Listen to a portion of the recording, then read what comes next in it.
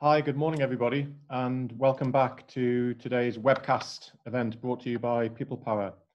My name is Andrew Wilson, Director of the Project Studio, who are the organisers of the event today. Uh, we promote and develop and organise the People Power Conference uh, in the Northeast region also. Throughout the day today, we're delivering a range of free 30-minute bite-sized learning sessions from leading experts to help organisations of any size meet the new challenges that we all face there's a core theme linking everything uh, that's being presented today, and that's the, the well-being, development, and performance of our people. We're using the hashtag people-powered business throughout the day, uh, so please feel free to join in the discussions on social media. We're presenting a range of topics such as uh, motivation, well-being and mental health, emotional intelligence, employee engagement, employer branding, communication, and responsible, effective leadership. So all of those sessions are being presented uh, during the day today at half past the hour. Uh, just a quick word about, about our sponsors. Uh, our event partner is Northumbria University, the national leader in business and enterprise that can bring a competitive edge uh, to everything that you do. a new headline sponsor for People Power this year is Westray Recruitment, a specialist recruitment partner uh, which puts customer service at the heart of its mission. Our gold sponsor is Hive HR, based in Newcastle, an employee feedback platform and people science consultancy. We've also got a theme sponsor, NESMA, the Northeast Sales and Marketing Academy, who build marketing know-how. Uh, NESMA work with companies and individuals to keep them up to speed with contemporary marketing trends. Finally, uh, we've got an associate sponsor, Engage Northeast, which is delivered by Peak Performance Partnership. Engage Northeast is part of the National Engage for Success campaign and Peak Performance Partnership are the talent management consultancy who are the regional ambassador for that campaign. Before I introduce our next speaker, just a few technical notes for those of you who are joining new for this session. If you've got any questions or queries or comments, please just use the Q&A box within Zoom at the bottom of the Zoom screen. Uh, the chat box is disabled, so everything goes into Q&A. Uh, anything to do with technical queries or questions for our, our next speaker, Emily, who I'll introduce shortly uh, please just use the Q&A and we'll be able to ask a few questions to Emily following her presentation. Uh, polling, there is some polling as part of Emily's presentation today also, uh, which is quite important. Now this is 100% anonymous, so please feel free to participate as fully and openly as possible in the polling. And you'll see the prompts that come onto screen and Emily will talk you through the polling. The questions and the answers will allow you to interact uh, and be part of today's session to voice your opinions on the questions being uh, posed to you. Emily's details will obviously be shared uh, with you following today's session. And just uh, to repeat as well that People Power is CPD accredited. So any participant in the event throughout today, in any of the sessions throughout the day, will receive a CPD certificate by email following today's event. Feedback, please feel free to give us some feedback to the automated uh, feedback survey that follows this half hour session. And also please participate in our SurveyMonkey questionnaire that we'll send out following uh, the webcast today. So our next speaker is Emily Pearson, who is MD of Our Minds Work. Emily is speaking about evaluating and support planning for staying mentally healthy. Emily is a visionary and thought leader in the corporate mental health field. She's a corporate mental health program expert with 20 years experience and qualifications enabling her to work uh, as a professional in mental health, substance misuse, and health and social care fields with organisations of any size. Emily, morning. How are you doing? Good morning. Oh, I hate hearing that. Time 20 years working in the field it makes us feel very old, Andrew. But thank you for that introduction. no problem at all. I'll leave everything to you, Emily, and enjoy your session. And I'll hopefully have time following that to ask you some questions on behalf of today's audience. Brilliant. Thank you very much. Let me just get my technology set up. Let's get the sh screen shared. So good morning to everybody. It's good to see so many people attending this morning, which is great. I think the numbers were tipping over 60 out there, which is really good to see. So hopefully this is going to work.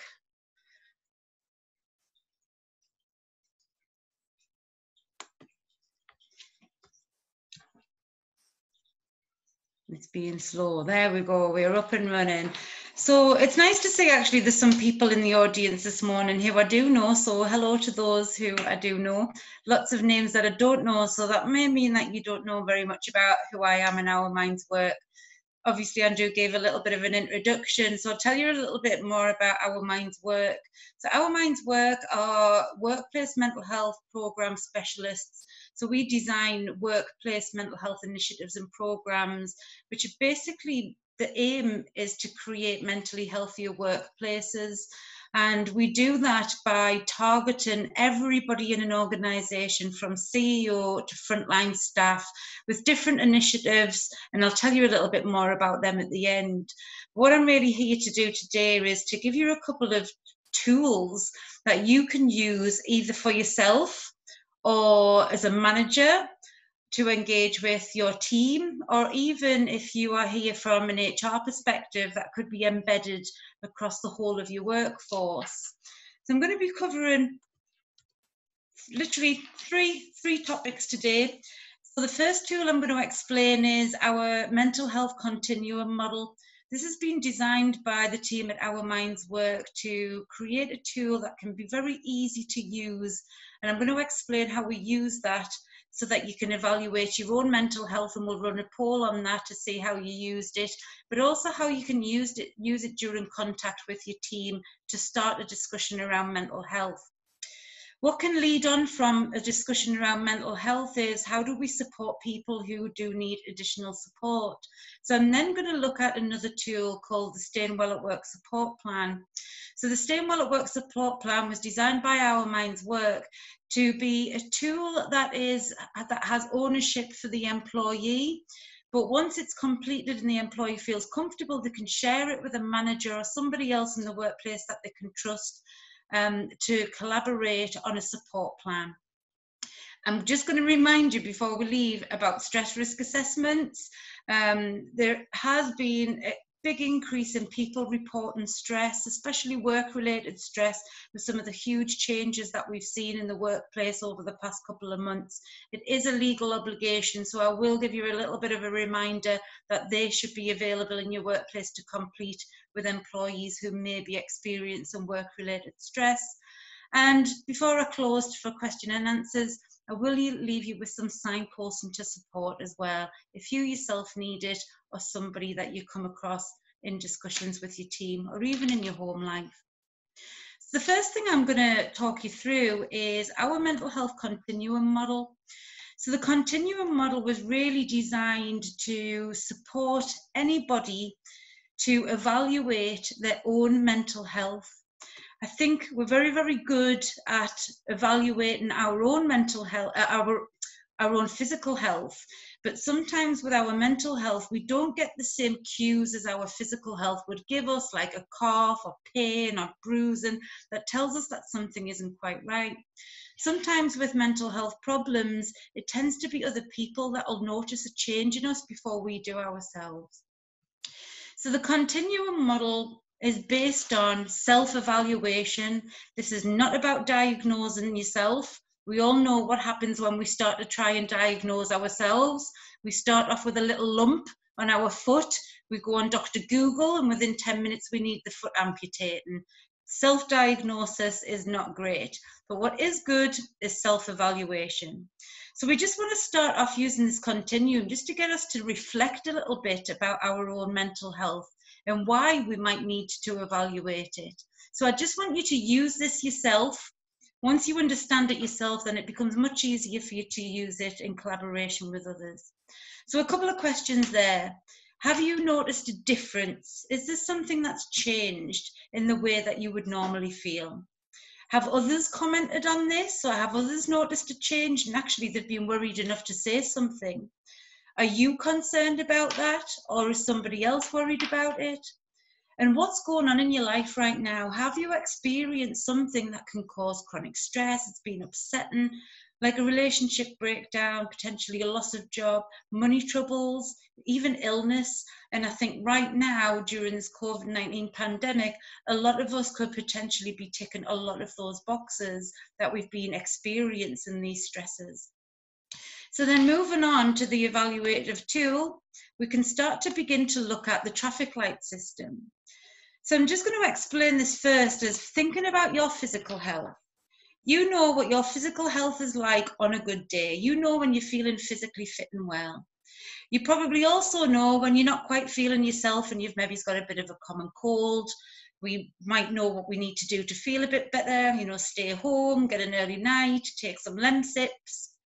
And we probably know the difference between when we're not feeling ourselves and we've got a common cold, and actually that cold has turned into a chest infection and we're feeling unwell.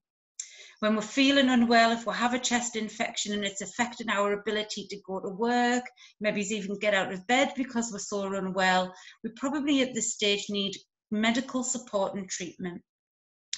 If we don't get the support and treatment that we need at that stage with a chest infection, it puts us at higher risk of it getting worse. It could turn into pneumonia, and then we're really ill. We may be so unwell that we may need hospital treatment. So if we think about our physical health on this continuum, we can think about our, mental health in the exact same way. So we can see in our continuum model here, we've got this traffic light system. And as we go through the model, you'll see that there's no mention of a diagnosis. This is about symptomology. What are my symptoms? Where am I on this continuum? And wherever I am, what do I need to do to get back down into that green section again? So think about yourself. What is you on a good day? So you on a good day will be different to me on a good day. So what we need to think about is what's your normal? I know we don't like to use the word normal, but it's your normal. What is normal for you? So we can see there, what's your normal sleeping patterns, your normal appetite? How regularly do you see friends? What are your normal energy levels like? And we generally know that's me on a good day. That's me when I'm feeling mentally well. In the yellow section there, where we're maybe it's not quite feeling ourselves. We know we're not mentally ill, but what we're probably doing is reacting to stresses in our lives. And when we run these polls after this evaluation tool, we are seeing the majority of people in this area reporting to be in this area because of all of the stresses and pressures that are happening around us during this time. So we can see here, we're maybe having a couple of bad days. Yeah.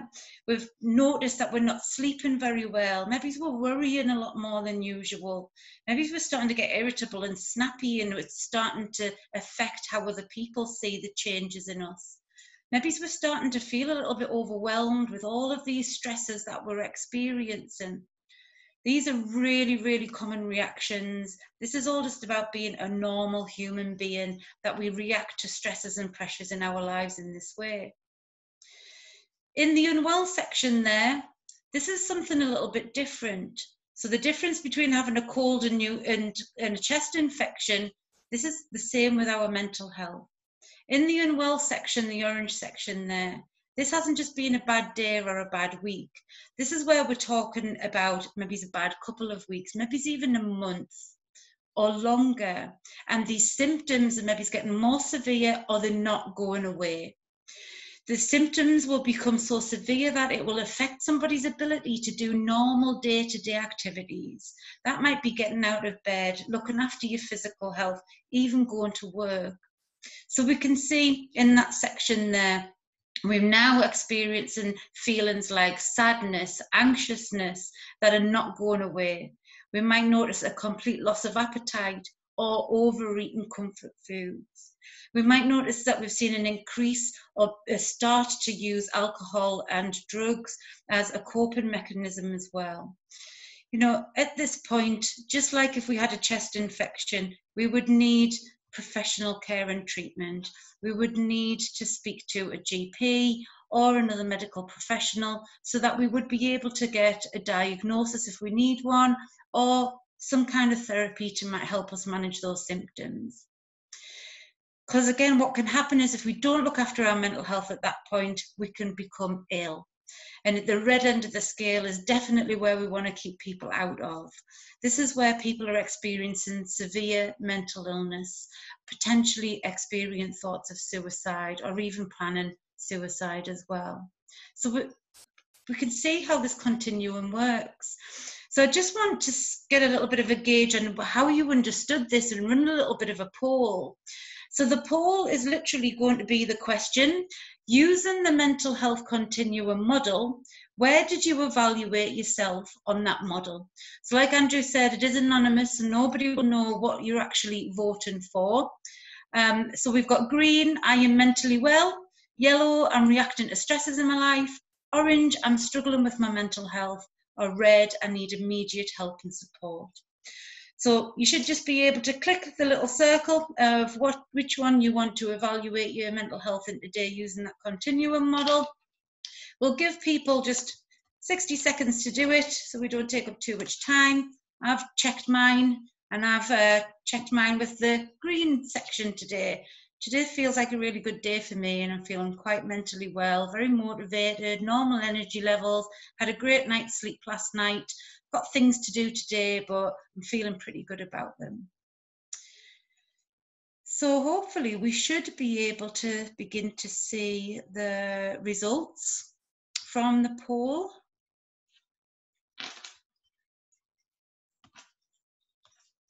Well, waiting for those results. Oh, there we go. Okay, so the results we have, and exactly as I expected it to, the majority of people who voted, 58% said that they were yellow, reacting to stresses in your life. This is really, really normal and common reaction to have to what we're experiencing right now, on top of our normal daily stresses before COVID 19 even hit. We've got 37% in the green, mentally well. Brilliant. How do you stay there? And we've got 5% who feel as if they evaluated themselves in the orange section that they're struggling with their mental health. So, uh, those people in the yellow and orange, what I want you to think about today is what do I need to do to get back down into the green section? And if you're in the green section, what do I need to do to stay here? So, thank you for sharing um, your evaluation on that. I'm going to give you a little bit of an idea of what you can do to look after your mental health as well. So as you can see with the continuum model, we go beyond just evaluation. We actually go into action planning. What do I need to do in these sections to get well again? And what works for one may not work for another. So it's about finding things that we can do that work for us. But there are a couple kind of normal themes here, very kind of common themes to use, is generally looking after your physical and mental health, diet, nutrition, sleep, exercise, all of those things are really, really important that we keep on top of. Talking to somebody who we can trust for support, even finding an expert that can help us. So we're not all experts in what we're experiencing. Is there somebody out there that you can call upon to help?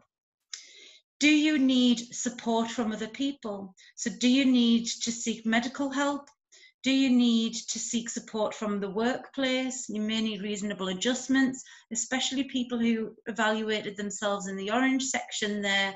It may be that you could be diagnosed with a mental health problem and need reasonable adjustments. So, there are things that we can do to look after our mental health. So, getting some support is really important generally looking after our mental health, having somebody to talk to and looking after our physical health as well. And just a couple of numbers there, I'll, like 111 and 999, I will cover those in more detail at the end. So to move us on from this, what we want to be able to do is if we do need help, that we can have a tool to complete so that we can collaborate together with a, a GP or even somebody in the workplace to get help but also how do we create our own plan? So this is a Staying Well at Work support plan. It's going to pull back up to the top. It is designed for you to complete it. You have ownership of this. This is your Stay Well at Work support plan. And it's a complete wellness tool that covers everything that we need to do to stay well at work. I'm going to run through the questions. While I'm asking the questions, think about what you would put down in the Staying Well at Work support plan, and then we're just going to do a little bit of a poll at the end. So, what am I like when I'm feeling mentally well? What is your normal? Now i've just tried to get you to think about what is your normal. What do, what you like when you're in that green section? And like i said it'll be different for everybody. But how do you normally feel? How do you normally behave? When we know what somebody else's normal is, especially from a manager perspective, it's then much easier for us to, to notice that there's a change and somebody's moving out of that green section into the yellow section or further up. Question number two, what do I need to do to keep myself mentally well while I'm at work? What works for you?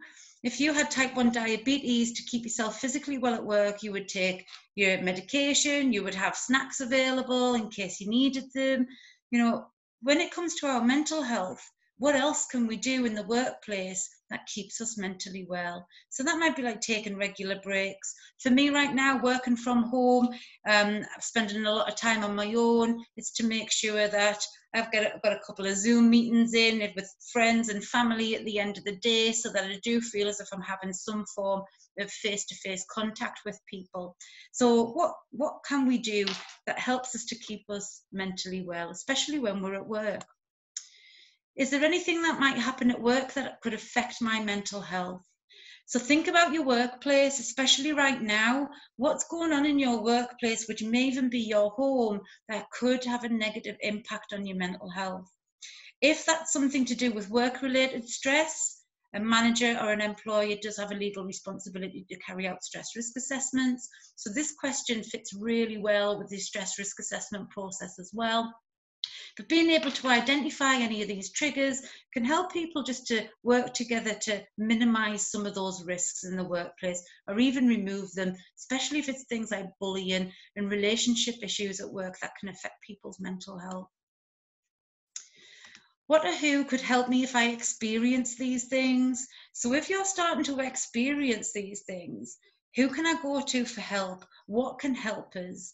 So, this might be people in the workplace, especially if you have mental health advocates who can listen and signpost colleagues who are experiencing these things. Maybe as a manager, you're using reasonable adjustments or supportive measures. When I am becoming unwell, what am I like? What are you going to notice? So, when are you going to notice the changes that say I'm in the yellow in the, on the orange or the, the red section. So what will you see? And those changes will be different for everybody. So then if you do see these changes, what do I want you to do if you're concerned? As my manager, if you're concerned about the changes that you've seen, how do I want you to respond? And it may be that I'm happy to tell you that I take medication every day. If I haven't taken my medication, you might know that I get a little bit irritable and a bit drowsy on an afternoon. Don't mind you just asking us, have you had your medication today? This will completely depend on rapport, but what this does, it gives ownership and um, gives the employee the ability to say, this is what I want you to do, not you saying, this is what I think we should do. And the last page is your staying well at work support plan. Things I need to do every day to still stay well at work and things I need others to do to support me when I am at work. Say who and what. So that's the Staying Well at Work support plan. So thinking about what I've just gone through there and thinking about how you could use this for yourself, we're just going to run another little poll. The poll is literally kind of yes or no, not sure answer. If you completed the Staying Well at Work support plan, would you feel comfortable sharing it with your manager? You know, this is a really important part of the Staying Well at Work plan and for keeping people mentally well at work is that people feel comfortable sharing this information with a manager or somebody who can help like help like HR. So if we get lots of no's here or not sure, as a workplace, we never need to start to think about why is that? Why are why might we not want to share it? Is the stigma in the workplace? Um, does my manager never talk about mental health? So hopefully we'll be able to st start to see some of the results there to get a good idea and just a little bit of a temperature check on how do people feel about speaking to the managers about their mental health problems. So we can see there we've got 67% have said yes. You know, that is brilliant. I think if we ran this poll about four years ago, it wouldn't have been very high at all. I think we do, we have made large strides in reducing stigma in the workplace and opening up these conversations. But saying that, we still have 19% who said no and 14% who said not sure. We still have a lot to do to completely reduce stigma in the workplace so that people can feel comfortable talking about mental health and asking for the support that they need.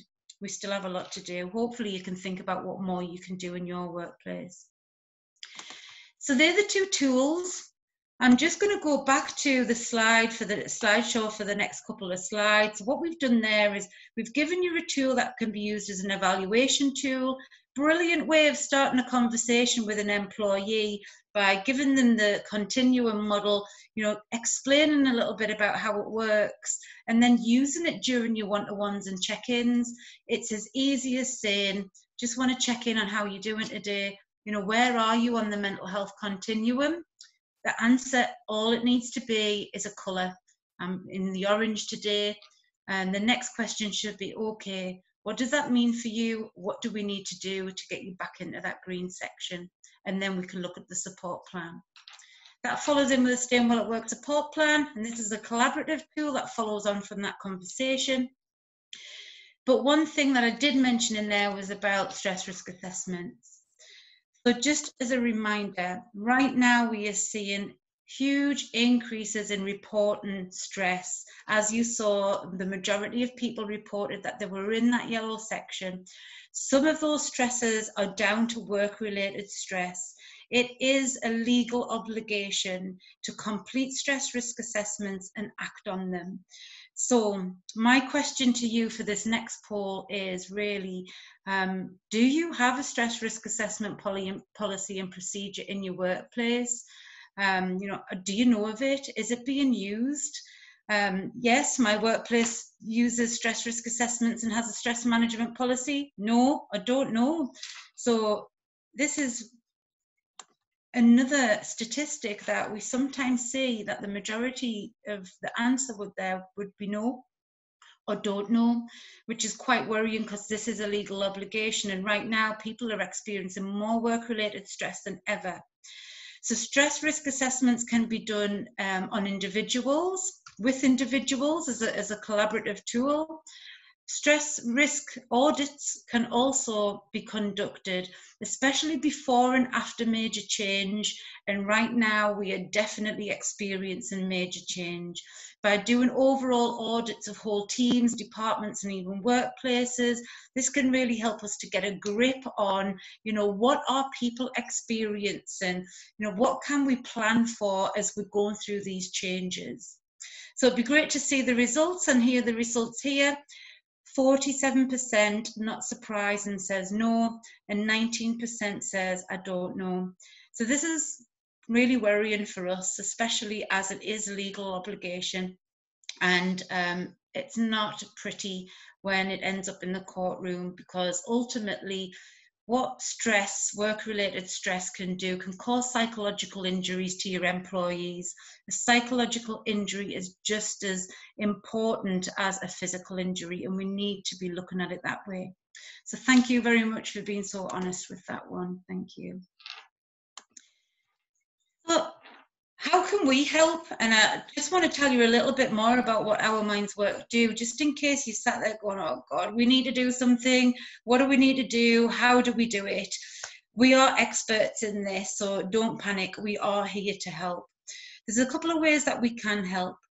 We've got a couple of programs that are running currently at the moment.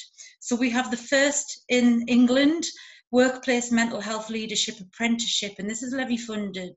So if you've been struggling to get your employer to um, to find a budget for mental health and you have a levy fund, this is a great way to actually provide leadership training specifically around workplace mental health, and it's a level four diploma. We also can provide accredited mental health training for managers. Managers are the people that should be doing those stress risk assessments. So we do cover um, stress risk assessments in the manager training as well, and it is accredited as a level three. maybe you're thinking about putting those mental health advocates in place. So we don't just provide the training, we provide the whole blueprint of how to safely implement this service into your workplace. And from there, once you've got them trained and they're fully functioning, safely practicing in the workplace, we then provide a membership program to support them um, in more longer term. So we do um, development with them. They get additional training. We um, engage in reflective practice sessions with them on a yearly basis. So we get really involved in supporting the people who are in those mental health advocate and first aid roles. What we found really helpful for people right now, though, is our mental health awareness webinars.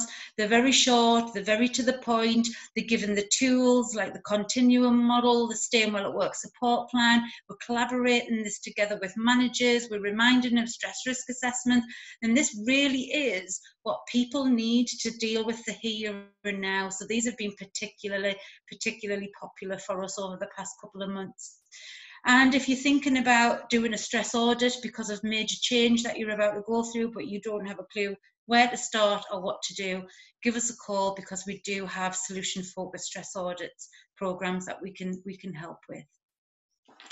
And the business of all that is about keeping yourselves and your employees mentally well. So if you identified yourselves in the green and the yellow sections, there's lots of information in the blue section of this slide about how do we keep ourselves mentally well when we're reacting to stresses or when we are mentally well, how do we stay there? You know, the Mind website is full of information and support. It's really comprehensive.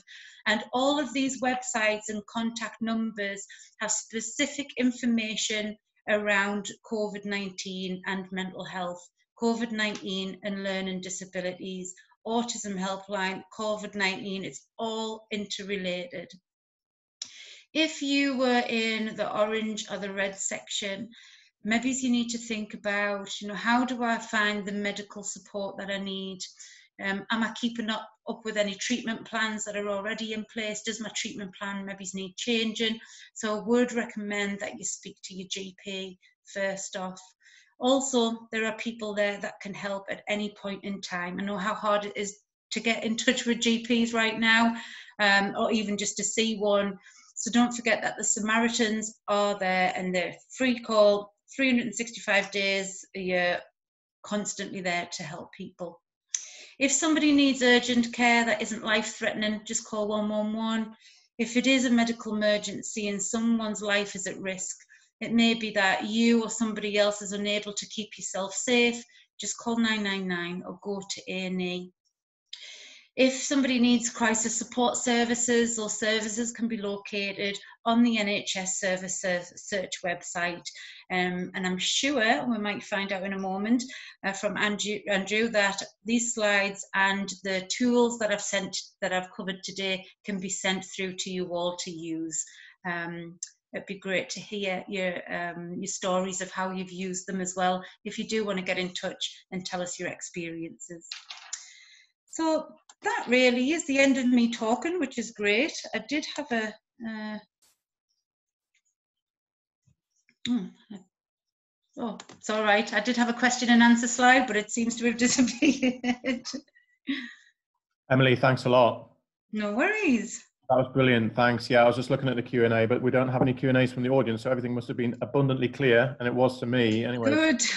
Thanks a lot. And I was going to ask you, but you you answered that question around those two tools. The there was the mental health continuum, wasn't there? And then there's the My Stay Well at Work support plan. So we can pass both of those on to the participants, presumably. Yes, that would be brilliant. And the tools are there to help. And I think what we saw through the polls was that people understood the use of it. It was very, very easy for people to evaluate themselves. So, you know, we, we created them to be that simple. Um, we, we want to find easier ways to have these conversations. And the, um, the continuum model was really designed by us with men in mind. Um, we started to get a lot of um, questions from other charities around, you know, what, what can we do to get our men to open up more about their mental health? So we actually trialed the continuum model with um, some of the service users from the Man Health charity. And they said, you know, it really was a light bulb moment. It just clicked straight away. They could instantly identify where they were.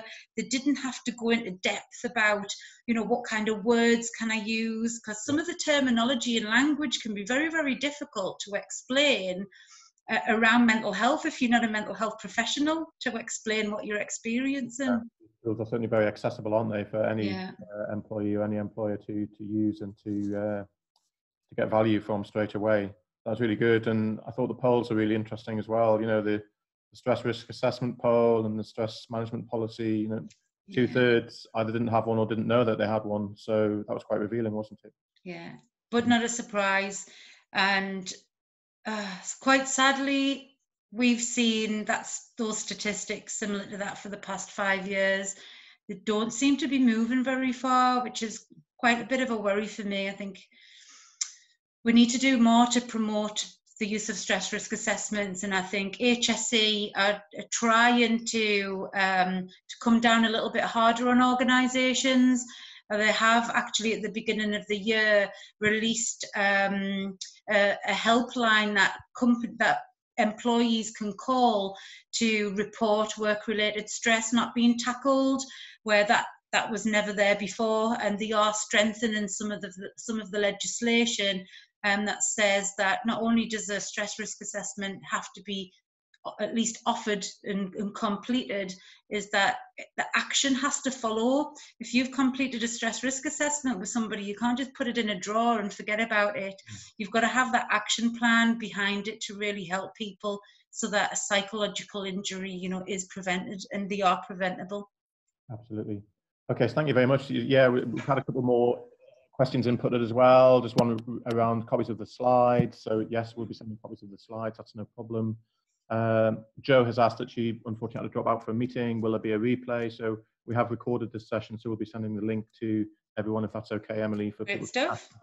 on your commentary, which was superb uh, throughout the presentation.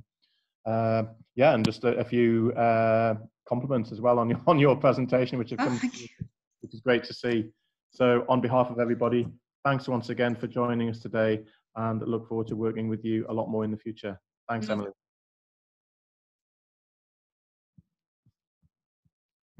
Great. So that was Emily Pearson from Our Mind's Work. Next up, we're talking about emotional intelligence at uh, half past 11. We're going to invite Gary Hosey from EI Company, a specialist in emotional intelligence to speak about developing particularly emotionally intelligent leaders uh, uh, with reference to, again, the challenges that we've all faced throughout the coronavirus crisis and uh, obviously going forwards as well. So Gary Hosey, 11.30, Emotionally Intelligent Leaders is our next session. See you all then.